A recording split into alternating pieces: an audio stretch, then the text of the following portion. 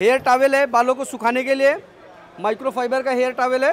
Directly आप इसको लगाएँगे और लगाने के बाद ऐसे वन टाइम रोल करेंगे और रोल करने के बाद पीछे यहाँ पे बटन दिया हुआ है। इसमें ऐसे आप लगा देते हैं विद इन सेकेंड में आपका हेयर बिल्कुल ड्राई हो जाता है।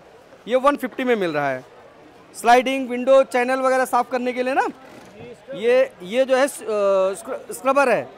इसको आप गीला कर लेंगे पानी में और गीला करने के बाद चैनल में डायरेक्टली ऐसे अप्लाई करेंगे वन एंड टू दो बार में पूरा चैनल साफ़ हो जाएगा, कचरा इसके साथ उठ के बाहर आ जाता है।